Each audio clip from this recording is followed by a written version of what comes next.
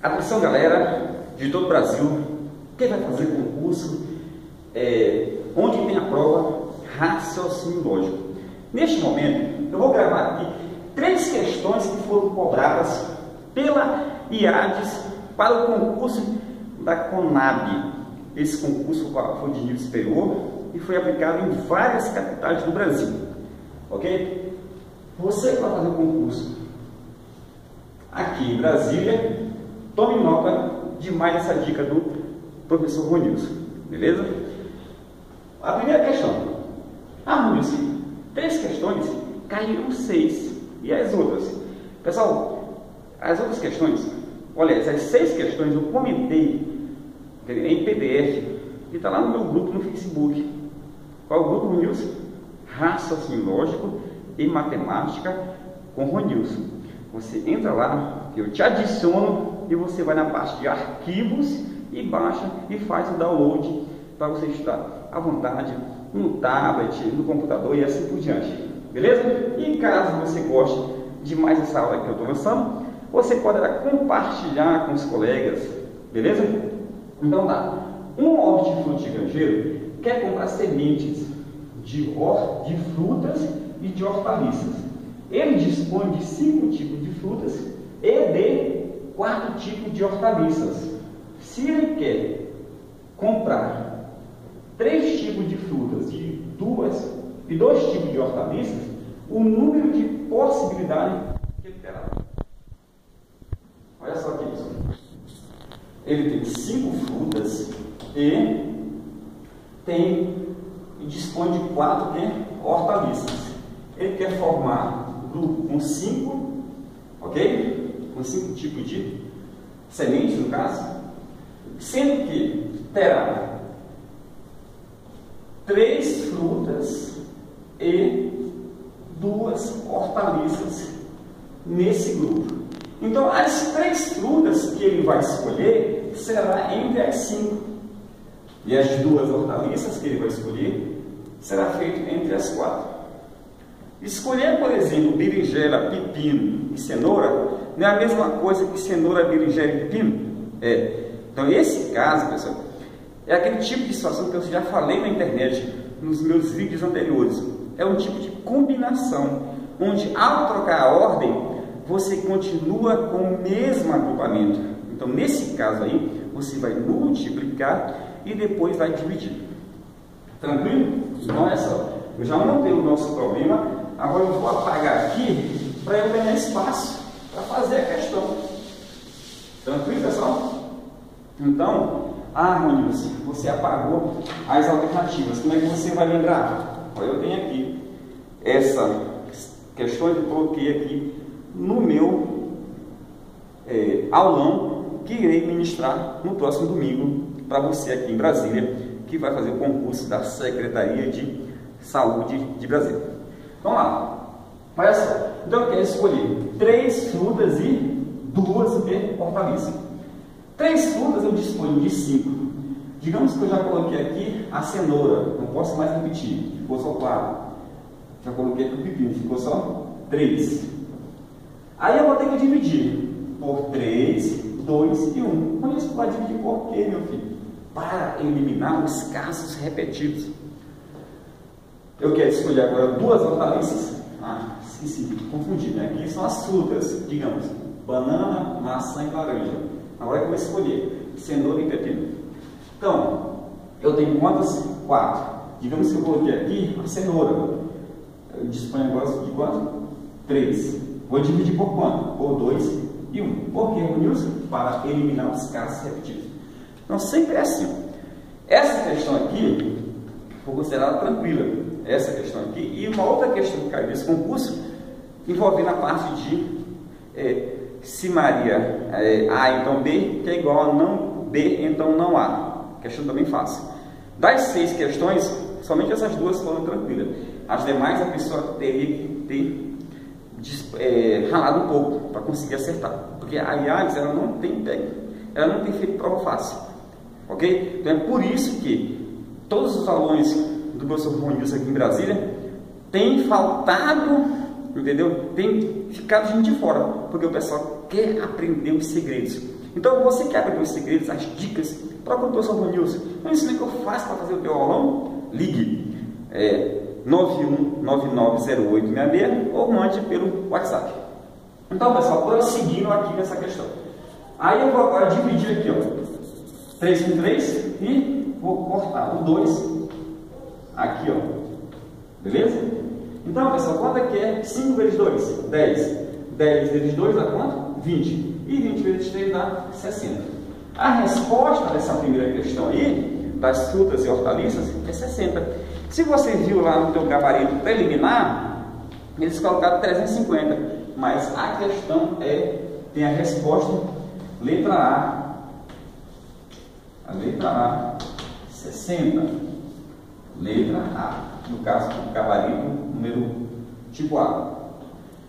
Porque assim, toda é IA de 6, geralmente tem uma questão nula, ou uma questão nula e uma questão com mudança de gabarito, ou uma questão apenas com mudança de gabarito. Isso tem acontecido nas, nos últimos 10 concursos que eu tenho acompanhado da IAS. Beleza? Então você vai acompanhar que no trabalho definitivo vão trocar essa alternativa. É, inclusive eu gravei, eu fui, comentei essas questões para justamente para você embasar o teu recurso. Na segunda-feira, após a realização do concurso, eu já coloco as provas lá no grupo do Facebook. Tá bom?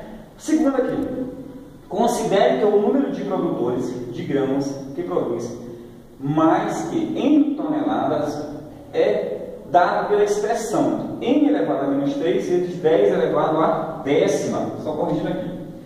O número de produtores que produz entre 200 e 500 toneladas é.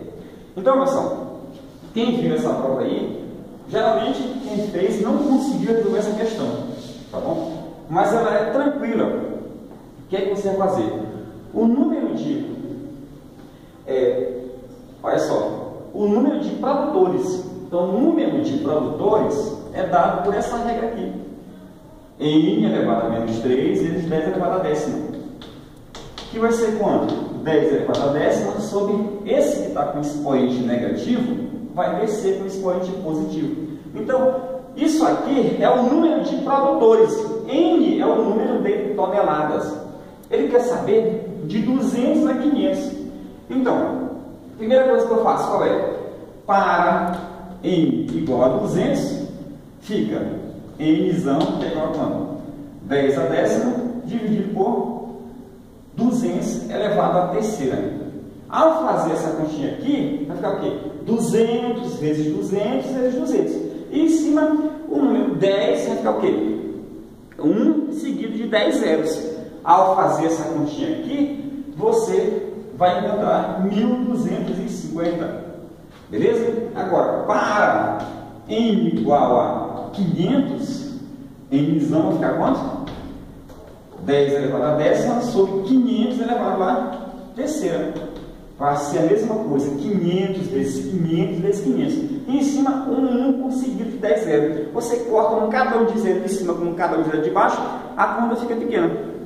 Essa conta aqui vai ficar quanto, Ronilson?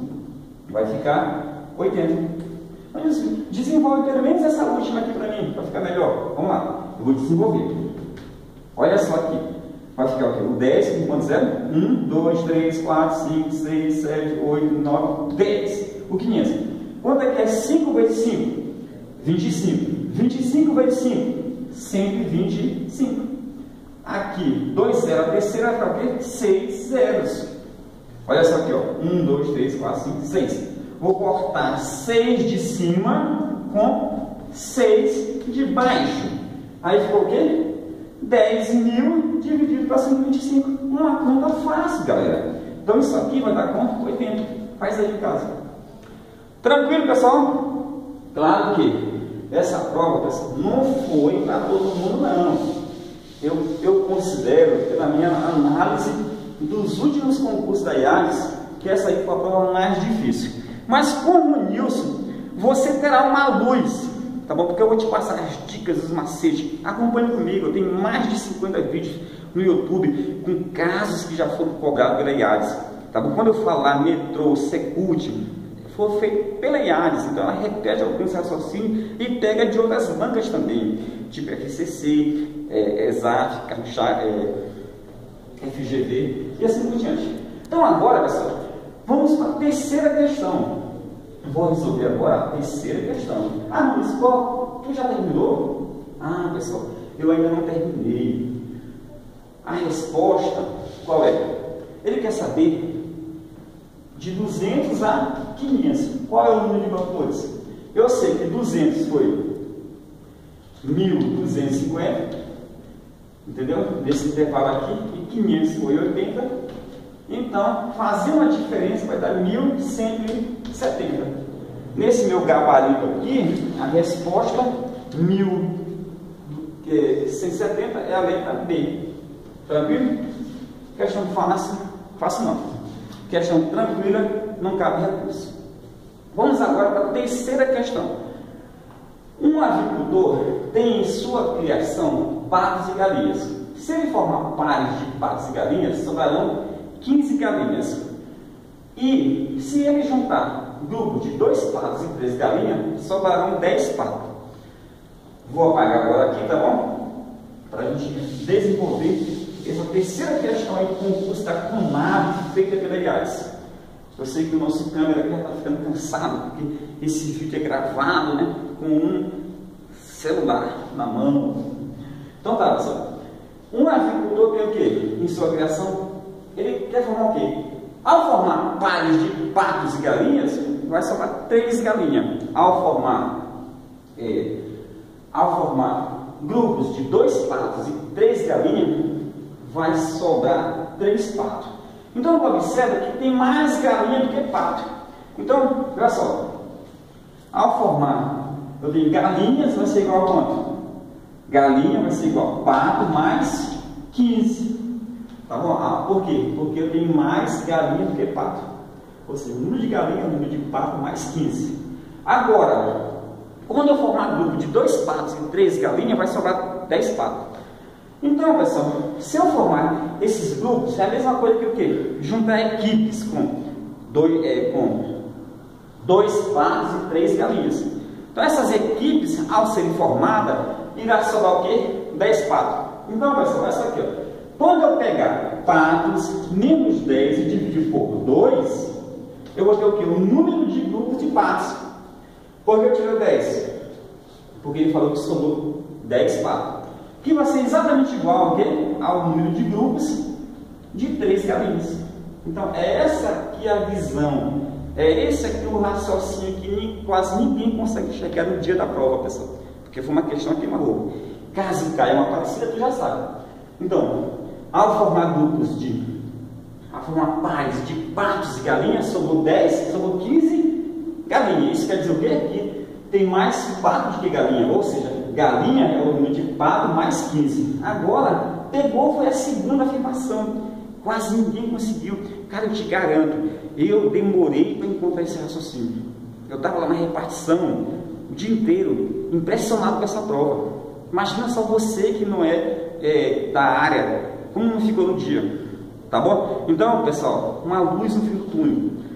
Você faz as questões que tu sabe, Entendeu? Logo, e assim tu não souber, não perca tempo. Se não, tiver, não teve tempo, você vai ter que chutar na letra que saiu menos esse.